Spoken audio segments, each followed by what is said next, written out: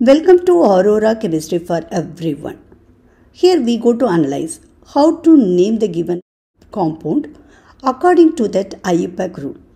CH3, CH, CH3, CH2, CH2, CHO.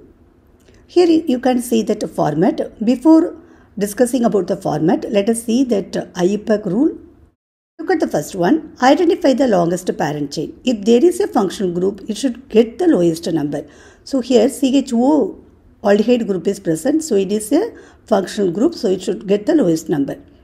The numbering is done in such a way that branched carbon get the lowest number. So here you can see that one substituents that is methyl group is present. So we should also consider this methyl group.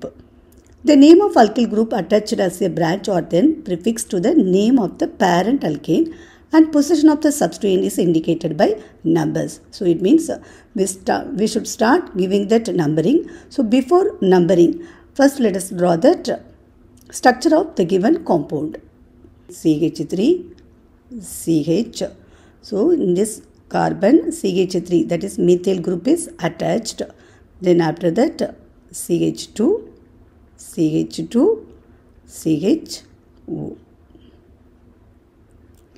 So let us start that numbering. So CHO group should get the lowest number. So 1, then 2, then 3, then after that fourth position methyl group is attached.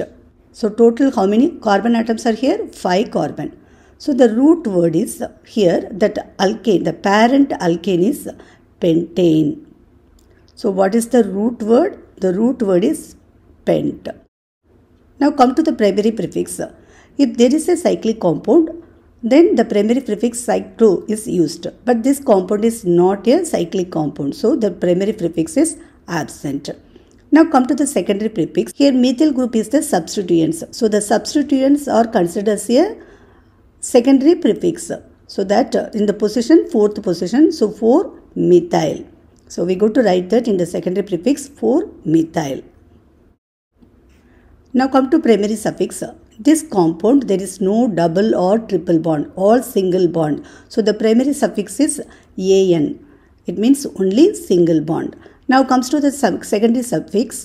So that aldehyde group is present. So that is represented as a al in secondary suffix. Primary suffix an and then secondary suffix al because CHO O group is present. So now we can write that all together. 4-methyl pentanal is the IUPAC name of the given compound. Thanks for watching.